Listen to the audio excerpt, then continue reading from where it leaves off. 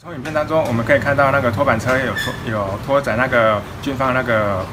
战车，这个影片内容哦，可以很明显的看到，就是违反那个《道路交通管理处罚条例》第五十第五十三条闯灯的违规行为。那这个这个部分的话是处以那个新台币一千八百元以上五千四百元以下的罚款。嗯，那军方假如说他在演习的当中，针对这个号志，他还是不是必须遵遵守嘛？那对于这个部分的话，我们交通管理事件的部分的话，相关规定是没有演演习部分有申请有特别优是算有没有那个特别可以优待的部分了哈，所以说，呃，针对那个大型车有装装载这个问题的话，我们是针对超高、超长跟超宽的部分，所以说，如果是演习有搭有